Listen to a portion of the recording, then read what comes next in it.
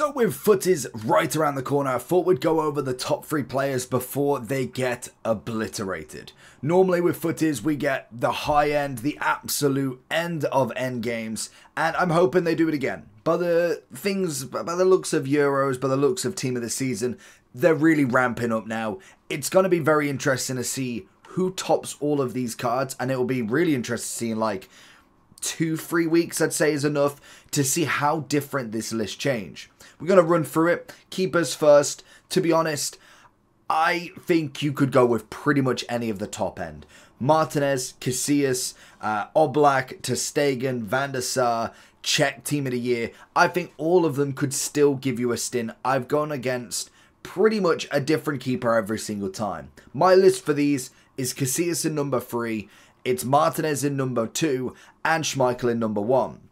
Now, with Schmeichel, it might be more of a bit recency bias in terms of him being my keeper now. He's the highest rated, uh, well, technically now not the highest rated, in fact. He's got Jordan Pickford, but I think Pickford would come in four or five for me, depending on Van der Sar. I feel like where I'd kind of fancy Van der Sar would be Pickford underneath him. But I do think all keepers now are absolutely at the top end. Casillas managed to get himself the 99 reflex. I would be very interested to have seen the 99 uh, speed for him. That would have just been an interesting one because you see high rated speeds, but then you also see low rated. So it really can't be that much of a uh, contributing factor to it.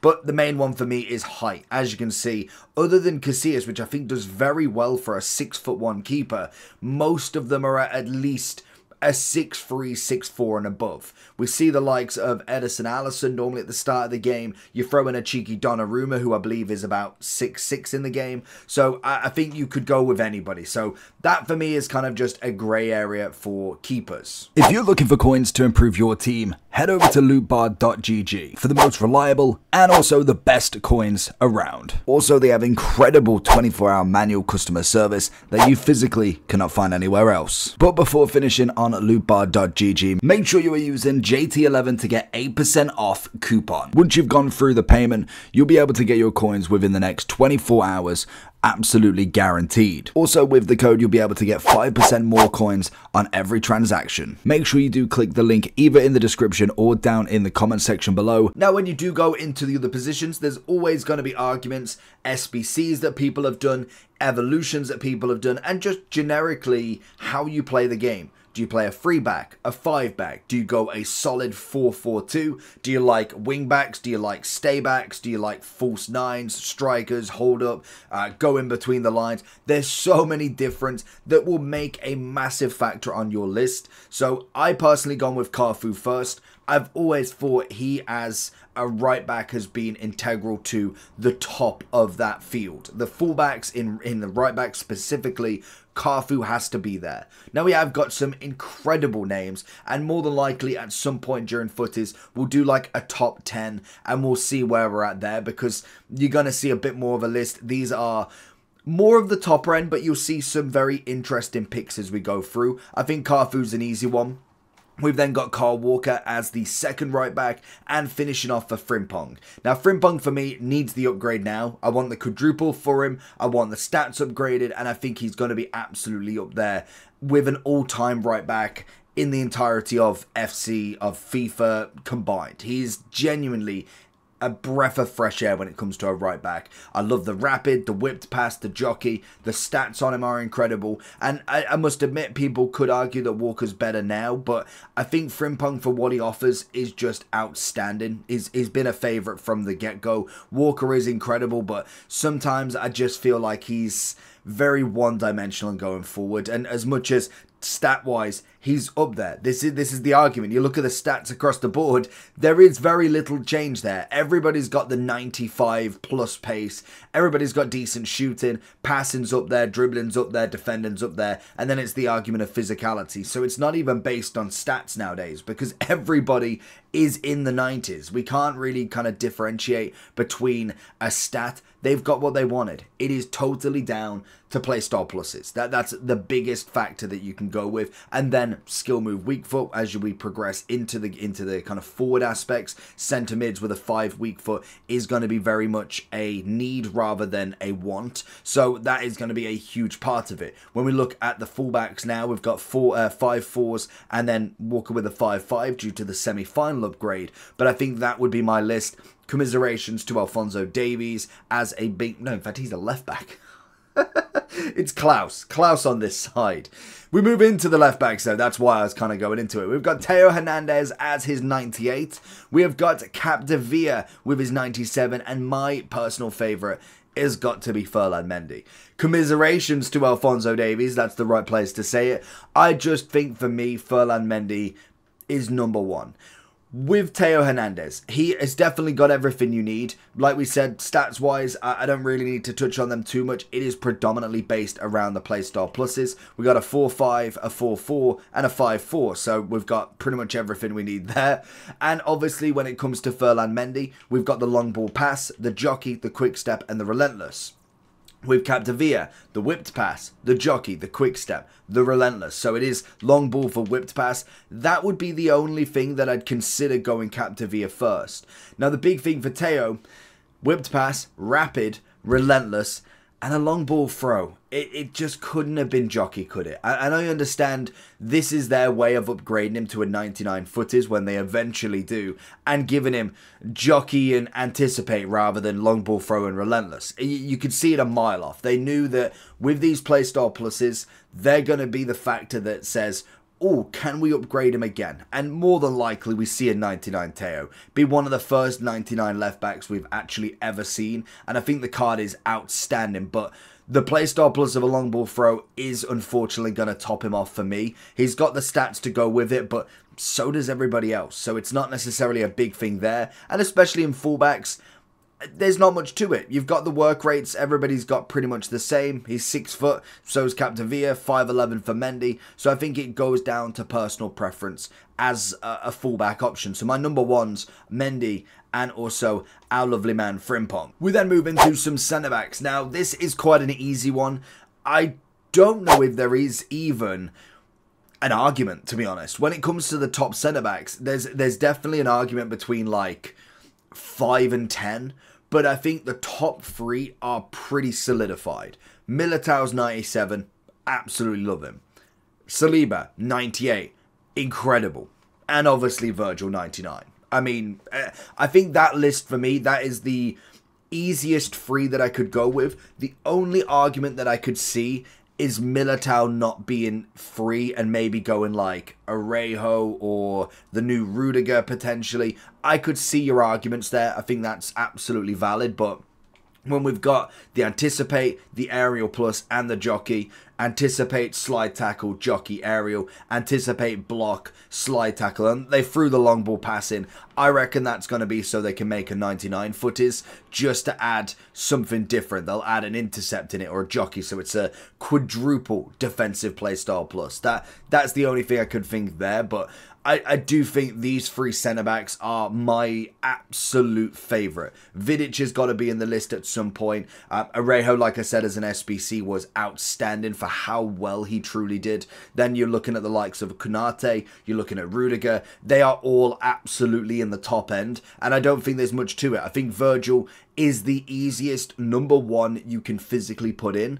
But then I'd say, yes, you could argue a, a Ruben Dias at some point in that top end. But I think Saliba takes my second spot with no question. And then, yeah, I think third goes to what your preference is, but I've always loved Militao. Now into the midfield, I've split it up into CDMs, centre mids, and cams. We'll run through all of them, starting off with the new Rodri. Now, in terms of a CDM box to box and a cam, I always get these questions of where's such and such, where's such and such. And normally, if I'm doing like a cam, they'll ask for like a box to box. And I'm like, a CDM is predominantly more defensive. So if we ran through the list, I'll, sh I'll show you what I mean. Because the hardest bit is the stats are now absolutely up there. So like Rodri is very clearly a solid DM. He's got the defensive and physical game. Shooting wise is not as much there. That's understandable. But when we look at someone like a Camavinga, who's my number two, to be fair, the stats are very much box to box esque. But I think in terms of defensive, it's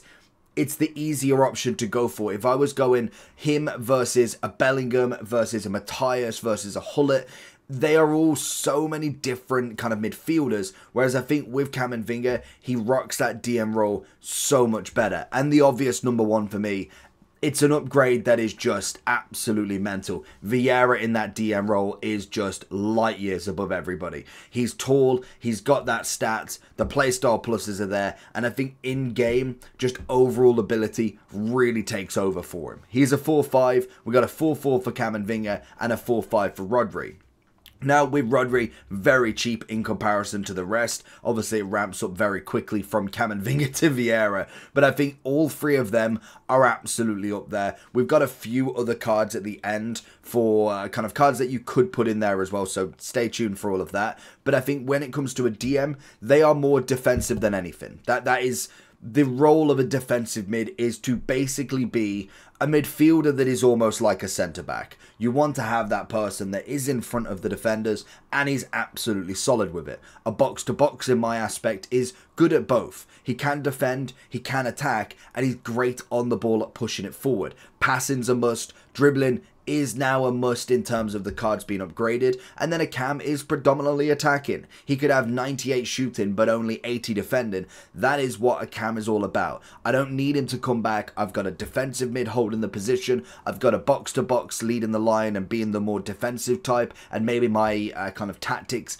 is to be more just cutthroat in the attack rather than necessarily worrying about the defense. Because to be fair, now the, the, the level of the defense as we saw is absolutely skyrocketed. You can kind of get away with only using the defense and maybe a box to box and a cam. So as we go into the center mids, I mean, they're no short of talent. We have got De Paul at 99, we have got Enzo Fernandez 99, and finishing it off with a Gullit.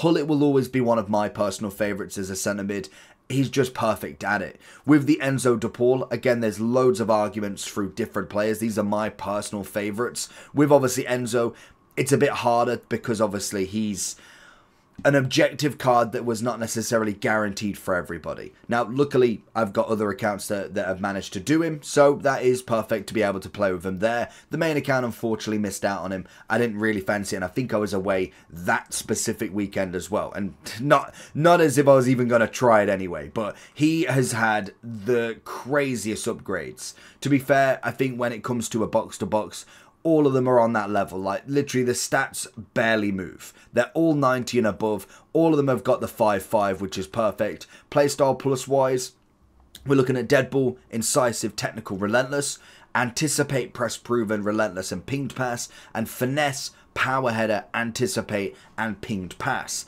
Now, obviously, with the other two, with DePaul and also Fernandez, they've got very much defensive slash passing. The one thing I think they did really well with Gullit You've got the shooting, you've got the defensive, a passing, and a bit of aerial work. I think it's absolutely perfect. They got that card so right to be so expensive and be an absolute must for everybody. So Gullit will always be number one. I think the only person who takes Gullit out of this top spot is another Gullit, in, in my opinion. And let me know your favourites down below. That's what I kind of want you to do. Don't go and attack every single option because everybody can be different. What is your three centre mids? What is your three centre backs? Have you got a different list to me? Let me know. And Cams, actually Xavi Simons, loved him. Thought he was a brilliant cam.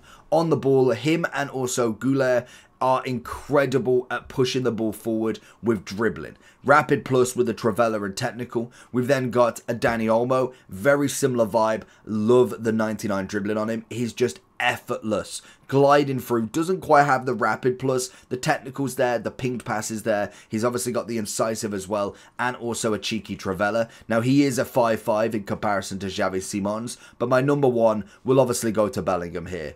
Now, Bellingham is an argument that, to be fair, I'm probably not great at keeping because I think Bellingham is incredible across the board. As a box to box, as a cam, whatever you want him to do, he can do it. Very much like Gullit, but I do like Bellingham just on the pitch. In general, having the ball to his feet, he's incredible. His strength is there. He's got a little bit of a tackle as well, which is really nice because obviously It's good to have a cam that is very attacking focused, but now we're in the end game it is almost like how the new game of, well, the new uh, style of football in general, where centre backs now need to be good with their feet. Goalkeepers have to play out the back. You go 10 years ago, goalkeepers are oofing it up.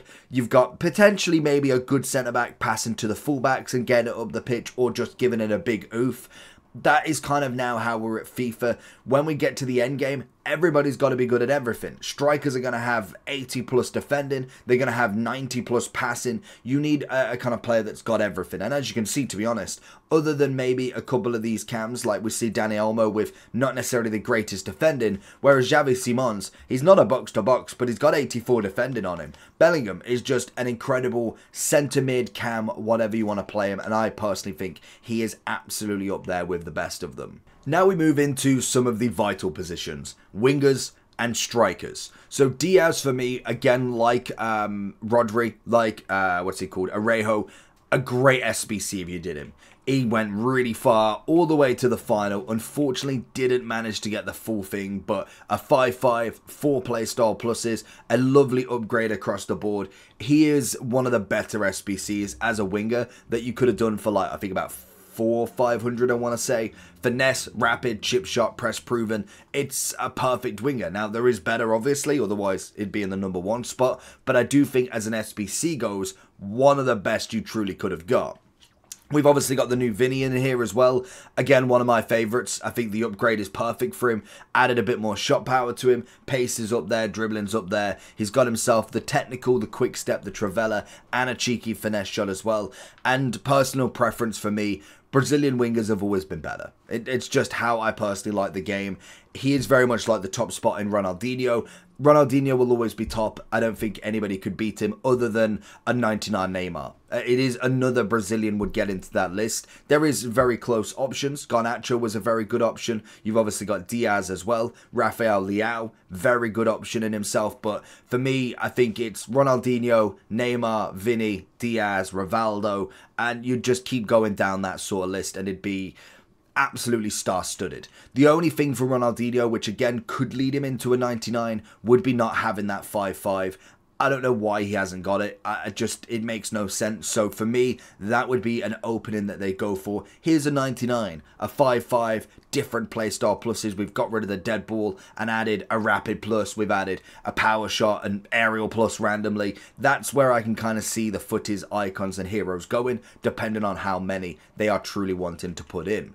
Over on the right wing side, we keep on the theme with the Brazilians, but we do end up with some very good right wings. I think Rafinha, for me, great upgrade for him. Now, I haven't used like Alwaran or Gar um, Garrincha because they are not available yet. It'd be like me going, oh, Haaland's going to be one of the best strikers. How do you know? You can take a hint and you can take a guess. The stats are there, the playstyle plus is there, the, the skill move weak foot is there, but you've not actually tried them in the game. Rafinha, is outstanding. It's a shame that they did give him a one upgrade to the 96 that we did have already from the season progress, but the game's the game. It makes sense. Saka at a 98. I think he's absolutely wonderful. He isn't quite my top, and that purely comes down to personal preference only. And the the number one for me had to be Dembele. I love his style of dribbling. It's quick, it's responsive. There is very little to it. I, I, think they are both absolutely up there, and I get a lot of people would choose Saka.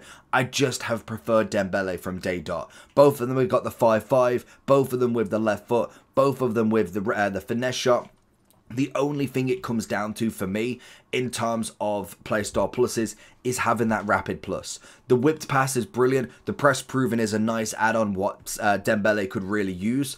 But the rapid plus for me is the absolute game changer in how I personally play. I don't really use technical as much as I should. So for me, Dembele would have to be number one. And then we have strikers. Now, this is such a competitive one that there is so many options. My first one as another SBC has got to be Nunez.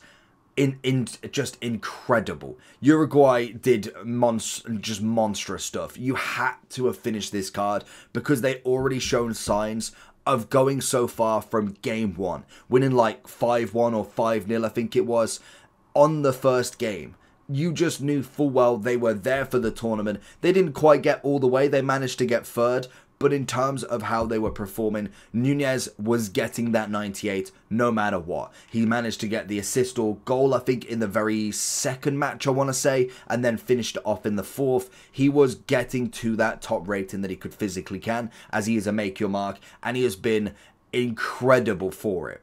We have then got R9. I think there's no uh, no qualms about that one. And obviously Mbappe is number one in my list. It will be very interesting to see if R9 gets the 99. I can imagine Mbappe definitely gets the 99 with the factor that he hasn't got the 99 here.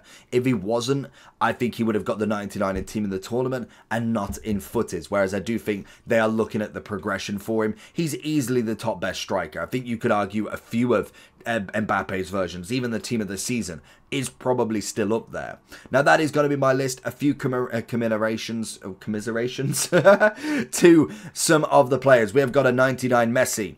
We have got the likes of a 98 Jonathan David. We've got Cruyff still in there. Martinez still in there. Puskas as a free card, which was incredible. Nico Williams, Bentancur, Konate, Henry, and then we go back to Diaz. That's going to be my list. Let me know down below if there's anybody else you would put in, and I will catch you all for the next one. Peace.